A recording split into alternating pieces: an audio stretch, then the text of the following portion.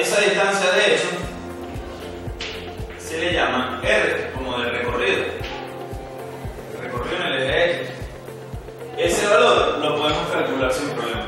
Y eso en bachillerato era una fórmula. La distancia de F. ¿Cuál es el trabajo de nosotros ahora? Es siempre deducir la fórmula.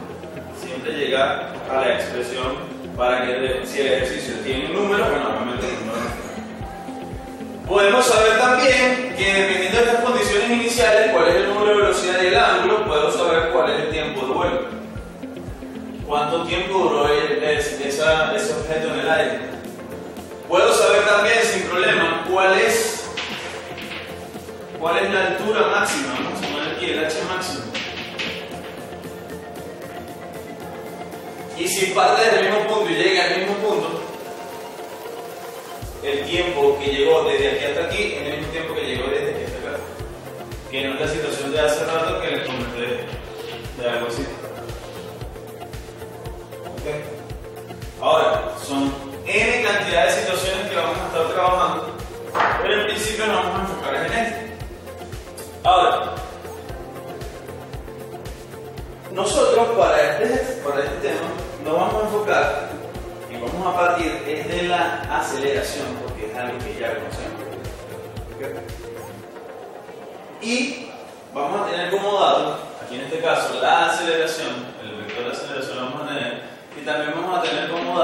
el módulo de la velocidad inicial, que sería el módulo con el que se fue disparado, asumiendo digamos que eso se tiene.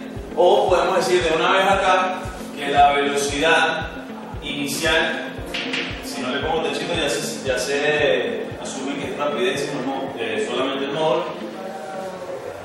Y podemos decir que el ángulo de inclinación también es conocido. Para simplemente sacar la componente en y Y.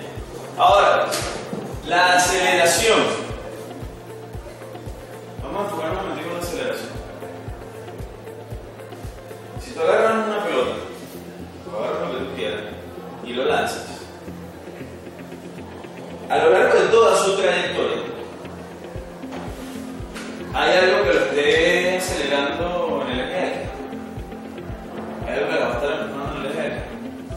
Aceleración es, en principio, y me fui un poquito a dinámica, perdón. Aceleración en principio, algo que está afectando la velocidad que se aumente o que se disminuya, ¿cierto? En ese movimiento, ¿qué es lo único que está haciendo efecto, que está haciendo efecto sobre el objeto? La gravedad, es lo único. La gravedad dice, no mira, pana, no puedo seguir flotando por ahí, dale la piso. Resulta que la aceleración, por ser un vector, tiene una componente en X y tiene una componente en Y. Resulta que la componente en X para nosotros en un lanzamiento de proyectiles es igual a cero, porque en X no se está moviendo nada. O es que la pelota tiene una turbina que está haciendo que se mueva en el eje. ¿Me explico? Una hélice que haga que se mueva muy rápido. En X no está pasando nada. La aceleración está en el eje Y. ¿Y quién es la componente en Y de la aceleración? Ustedes le dijeron la gravedad. Basado en el sistema de referencia que estoy colocando, X, Y, apuntando positivamente hacia allá, la gravedad siempre apunta hacia abajo, por lo tanto, podemos decir que eso es menos G en J, que es lo que estamos comentando ya. Ahora, si eso es menos G en J, hay un detalle. Por si acaso, sin importar hacia dónde se esté moviendo esto y dónde esté, siempre la gravedad está apuntando hacia abajo. ¿Ok? Y para toda esta trayectoria hay un solo lugar donde la gravedad y la velocidad son perpendiculares. Recuerden que son dos vectores. ¿No? En la altura máxima. Resulta que aquí en la altura máxima la velocidad es netamente horizontal. ¿Cierto? y la aceleración es vertical. Así que tendríamos la aceleración y así ya tendríamos la velocidad en ese punto. Voy a colocar este BC y quitar este lado que conocemos. Aquí tenemos que la velocidad inicial del dato y el. Y aquí ya solo tenemos esto. Esto teóricamente es clave. Aquí de hecho, por ahí en la planilla del profesor director hay una pregunta de eso. El ejercicio es así, sin ningún dato numérico. Así, sin ningún dato. el bien.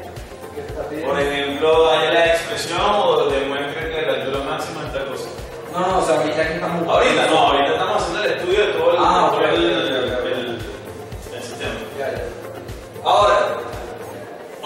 la aceleración, en este caso, está solamente en dirección J, ¿cierto? La velocidad inicial. ¿Tengo velocidad inicial? Sí, es un vector, ¿cierto? Aquí habría que hacer un poco de zoom para entender que en ese caso lo que estamos teniendo es algo así.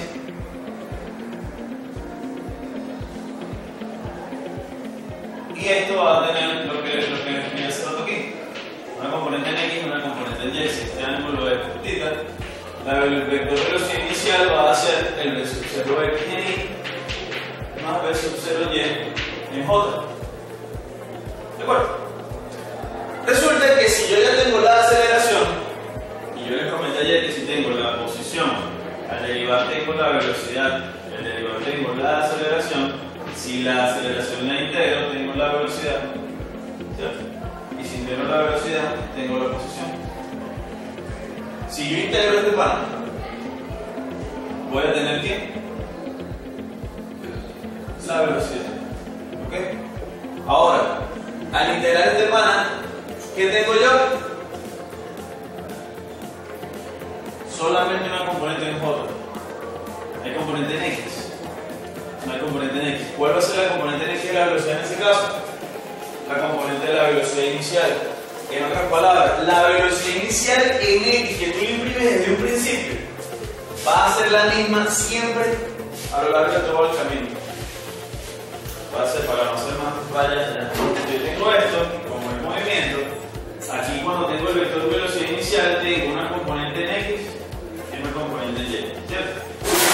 Cuando esté aquí situado, la componente en X va a ser la misma. De ser el mismo tamaño de la. Pero la componente en Y ahora es más pequeña. Y la velocidad, ¿cuánto se La velocidad va disminuyendo. Se hace 0 en Y y empieza a caer. Pero en X siempre va a ser la misma. Cuando llego a este punto, en Y se hace 0, pero en X se mantiene y es esta misma que tengo desde el principio. ¿Ok? Y por no tener componente en Y, la velocidad quedaría en este caso. Ahora, cuando estoy situado acá, tengo una velocidad en X y ahora la velocidad en Y cambia de sentido. Que hacia donde apunta la suma de todos los vectores, hacia allá que sería la velocidad. Cuando llego al punto más bajo, la velocidad no es cero. Voy a tener al final aquí una velocidad que apunta hacia allá, que en Y sería algo así, y en X sigue siendo la misma desde el principio. Entonces, vean cómo en X se va manteniendo, pero en Y va disminuyendo a medida que sube y cambia de sentido igual. Pero no siempre está bien, porque la gravedad es el momento en que sale, haciendo efecto en el, en el objeto. ¿En qué componente hace efecto? Solo en Y, ¿cierto? Exacto, por eso ese Y, ese Y positivo no debería ser también Y negativo chiquito, porque todavía está haciendo Una cosa es la velocidad otra cosa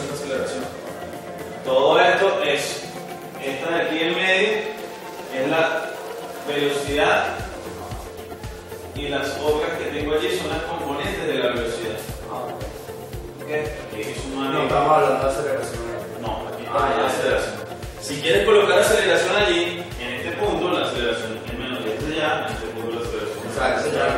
Tangente de es perpendicular, en este punto ya va en el sentido de Y, y ya va en el sentido de Y, pero la aceleración siempre es un vector que va a siempre estar apuntando hacia abajo.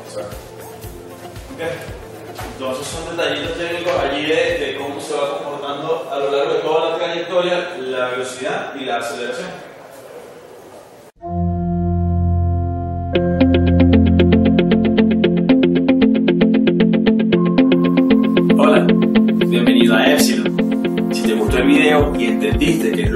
Importante, dale me gusta, suscríbete y compártelo con tus amigos.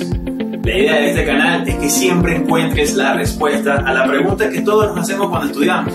¿Para qué me sirve esto? En este canal la vas a encontrar.